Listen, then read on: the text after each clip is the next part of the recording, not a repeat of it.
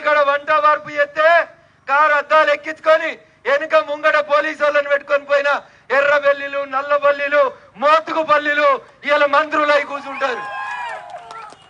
నా కాలి గోటికి సమానం కాదన్నాడు ఈ జిల్లాకేలో మంత్రి ఉండే తెలుగుదేశంలో. తెలుగుదేశంలో ఒక ఆయన సీనియర్ మంత్రి ఉండే. వాడు చంద్రశేఖర్ రావు అనేటోడు పొద్దుకి తాగితే పొద్దుగల పన్నెండింటి దాకా లేవాడు వాడు నాతోటి సమానమా అన్నాడు. వాడిని తీసుకొచ్చుకొని ఈయన పక్కన కూర్చోబెట్టుకొని మంత్రిని చేసుకున్నాడు చంద్రశేఖర్ రావు పద్నాలుగేళ్ళు జెండా మోసి ఇదే గిర్నిబావి చౌరస్తాలో జై తెలంగాణ అన్నోడప్పుడు కూడా ఇలా టిఆర్ఎస్ పార్టీలో లీడర్గా లేడు. నై తెలంగాణ అన్నోళ్ళు జై తెలంగాణ అన్నోని కొట్టినాడు. దొంగలు ద్రోహులు వచ్చి ఇలా తెలంగాణలో కేసీఆర్ పక్కన మంత్రి పదవులు ఎల్లబెడుతుంటే ఆ రోజు ఉద్యమం చేసిన పిల్లల గుండెలు అవిసిపోతా ఉన్నాయి. అందుకనే నాటి తెలంగాణ ఉద్యమంలో బేషరతుగా మద్దతు ఇచ్చిన పార్టీగా భారతీయ జనతా పార్టీ నాయకులుగా మేము భరోసా ఇచ్చేటందుకు వస్తా ఉన్నాం. ఒక్కసారి చేస్తే తెలియక తప్పు చేసినట్టు.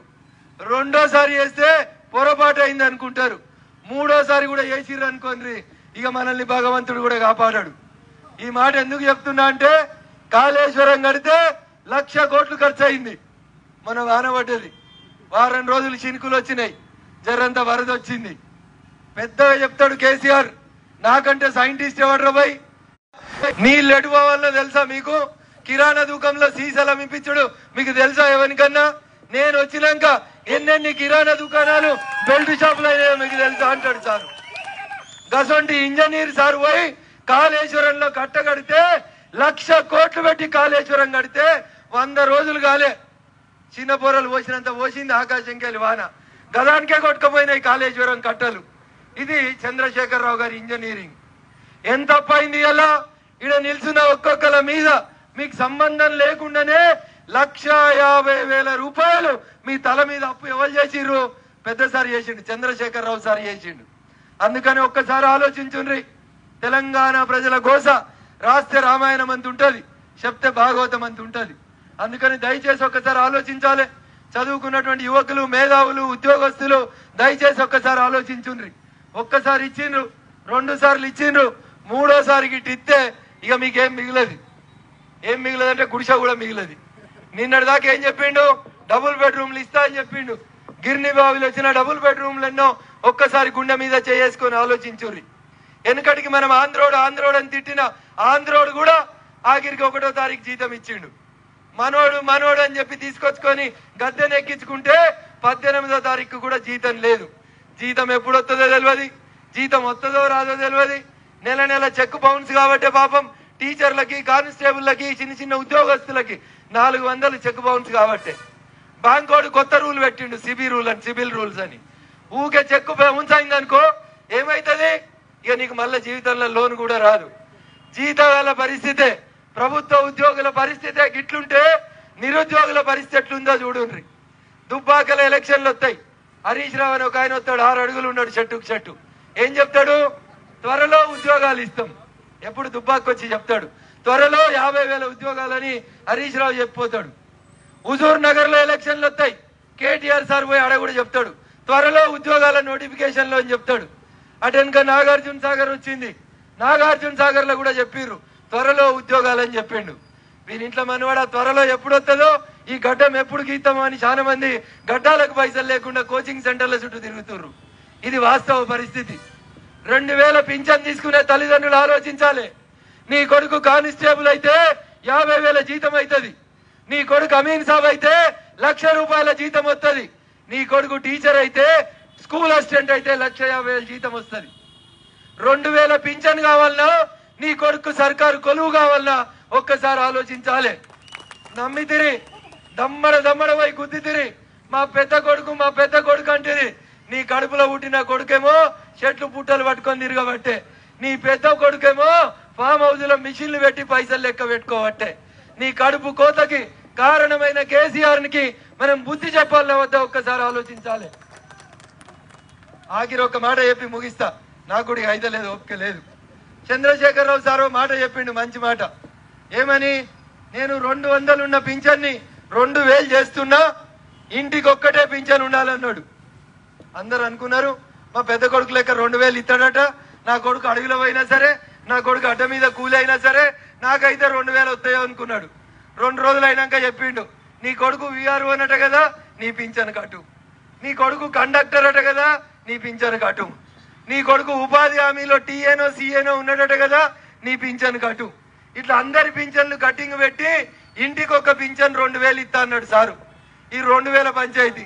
ముసలోనికి పింఛన్ వస్తే ముసల్దానికి పింఛన్ రాదు. ముసల్ది అనుకుంటుంది రెండు వేలు వస్తే ఎప్పుడన్నా మన్మడో మన్మరాలు వస్తే ఇంత చికెన్ పెడదాం దసరా కొత్త గౌను కొనిద్దామనేది బొట్లే దాచిపెట్టుకుంటుంది. ముసలాడు పొద్దంతా పనిచేసి ఇంటికి వచ్చే ఆ పక్కన ఈ పక్కన కిరాణా దుకాణంలో గ్లాసులు గలగలనబట్టే. ముసలవానికేమో గొంతు తడుపుకోవాలని ఆశ. ముసలవ్వని పోయి అవ్వ పైసలు ఇయ్యి అంటాడు. దీని ఇంట్లో మనవాడ నలభై రూపాయల క్వార్టరు రెండు వందల నలభై అయింది ఇవాళ ఈ రెండు వందల నలభై కోసం ముసలైన పోయి ముసలవ్వని అడుగుతాడు. ఆ బొట్టకెళ్ళున్న పైసలు ఇన్ని ఇయ్యే అని. ముసలిది అంటాడు నీకెందుకు పోయి తాగుడు. మన్మడం మన్మరాలు వస్తే మంచిగా చూసుకుందాం ఉండు అంటాడు. వాడు రెండు సార్లు అడిగి ఇటు అటు చూసి ముసల్దాన్ని వంగబెట్టి రెండు గుద్ది ఆయనతో బొట్టకెళ్ళి రెండు వందల యాభై ఎత్తుకపోతాడు. ఎన్ని? ఇచ్చిన పైసలు ఎన్ని? రెండు వేలు. గుంజుకపోయిన ఎన్ని క్వార్టర్కి? రెండు వందల యాభై. ఎన్ని క్వార్టర్లు వస్తాయి రెండు వేలకి? ఎన్ని వస్తాయి? నాలుగు వస్తాయి క్వార్టర్లు. నాలుగు వస్తాయా? ఎనిమిది వస్తాయా?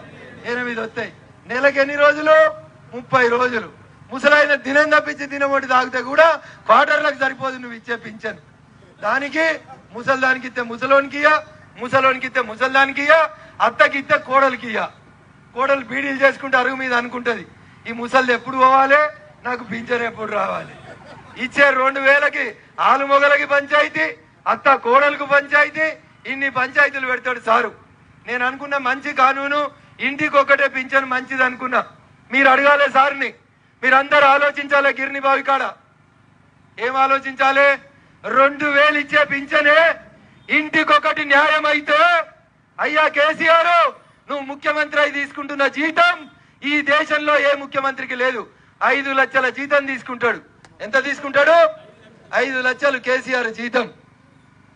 ఒక్కరికే ఉండాలి కదా కొలువు? ఒక్కరికే పింఛన్ ఇచ్చినప్పుడు ఇంట్లో కొలువు ఒక్కరికి ఉండాలా నలుగురికి ఉండాలా? సప్పుడు చేయరు. రెండు వేల పింఛను ఇంటికి ఒకటి న్యాయం అయితే అయ్యా కేసీఆర్ నీ ఇంట్లో కూడా ఒకటే నౌకరు ఉండాలని అడగాలనా వద్దా? పోతేమని అనుకున్నారు తెలంగాణ వాళ్ళు మంచి వాళ్ళు. అమెరికాకి వెళ్ళి వచ్చిండంట ఎర్రగా బుర్రగా ఉన్నాడు పోరాడు. తెత్త తెచ్చిండు అనుకున్నారు. కొడుకుని తెచ్చి నౌకరిచ్చిండు కొడుకు జీతం నాలుగు లక్షలు. ఎంత? నాలుగు లక్షలు. కొడుకు ఇయ్యంగానే అల్లుడు అన్నాడంట మామ నేను ఏకనాథ్ షిండేనైతా కింద మంట పెడతా బిడ్డ కొడుక్కిస్తే నాకు ఇయ్యవా? అన్నాడంట. వారిని ఇంట్లో మనవాడ నువ్వేంద్రబాయ్ అని వాని కూడా పిలిచి వానికో నౌకరిచ్చిండు మంత్రి జీతం నాలుగు లక్షలు. కొడుకు జీతం నాలుగు అల్లుని జీతం నాలుగు. బిడ్డ అమెరికాకి వెళ్ళి వచ్చింది తెలంగాణ ఎవరు బతుకమ్మ ఆడ రాలేదు మా బిడ్డ వస్తుంది అమెరికాకి వెళ్ళి గుంకపూ తంగడిపూ తెస్తుంది ఇక గిరినిబాబు చౌరస్తాల బతుకమ్మ ఆడుర్రని మా చెల్లె కవిత నిజామాబాద్కి వెళ్ళి వచ్చింది. బతుకమ్మ ఆడిచ్చింది. నిజామాబాద్ వాళ్ళు నమ్మిర్రు. మూడు లక్షలు ఎంపీ జీతం తీసుకున్నది ఐదేండ్లు. ఇట్లా పువ్వు గుర్తుల్లో నోటికి వచ్చినట్టు తిట్టి మీరు ఇందుగల్లా బొందుగల్లా అంటే నిజామాబాద్లో ఉన్న జీన్ పాయింట్ రబ్బర్ చెప్పులు మా చెల్లె కవితను పోయి బతుకమ్మ ఆడమని తోలిచ్చింది కవిత చెప్పిందంట నాయన నాయన అన్న మంత్రి బావ మంత్రి నువ్వు ముఖ్యమంత్రివి. నేను ఏడాది కోలే ఖాళీగా ఉంటున్నా. నన్ను ఎవడు రిబెన్ కత్తిరించేటందుకు వెళ్తలేడు ఇదేం కోసరం నేడితే? బిడ్డ నువ్వు కూడా వాని ఏడాదికి ఆమెను ఎమ్మెల్సీ చేసిండు. మన పోరగండ్లకేమో ఎనిమిదేండ్ల కోలే కొలువులు వద్దు గాని కడుపు కోత. ఏడాదిన్నర ఖాళీగా ఉంటే బిడ్డను తీసుకొచ్చి అడ్డదారిలో కమ్మెల్సింగ్ చేసిండు. బిడ్డ జీతం మూడు లక్షలు. నాకేం బాధ లేదు. సారు జీతం ఐదు లక్షలు. హరీష్ అన్న జీతం నాలుగు లక్షలు. రామన్న జీతం నాలుగు లక్షలు కవితక్క జీతం మూడు లక్షలు. వెనకాలోడు ఉంటాడు ఇంట్లో. వీళ్ళందరూ రోడ్డు మీద తిరుగుతుర్రని సటకుని కొడుకని తెచ్చుకురు సంతోష్ అని. వాడు పెద్దనాన్న అడిగితే అన్నకి ఇచ్చినావు అలుగుతే బావకి ఇచ్చినావు ఏడితే చెల్లెకి ఇచ్చినావు నీ మీద మనవడ నిన్ను పొద్దుగా లేస్తే రాత్రి దాకా రెండు గోళీలు మూడు గోళీలు ఇంజక్షన్లు రంగు నీళ్ళు చిన్న సీసాలు పెద్ద సీసాలు అన్ని నేనే కలుపుతా కదా. రెండు వేసేకాడ నాలుగు వేసినా అనుకో వారి మరి పొద్దుగాల్లో లేవని బదిరిస్తే వానికి కూడా ఎంపీ ఇచ్చిండు కేసీఆర్. ఎంత మంచోడు చూసినావా సారు? మందు పోసడానికి గోళీలు వేసడానికి కూడా ఎంపీ పదవి ఇచ్చిండు. కానీ మా పోరగాళ్ళు పీజీలు డబుల్ పీజీలు చదివితే కానిస్టేబుల్ నౌకర్లు కూడా మాకు రావు. సంతగా జీతం ఐదు లక్షలు. మొత్తం ఎంత పోతుంది ఐదుగురు కలిపి ఇంటికి?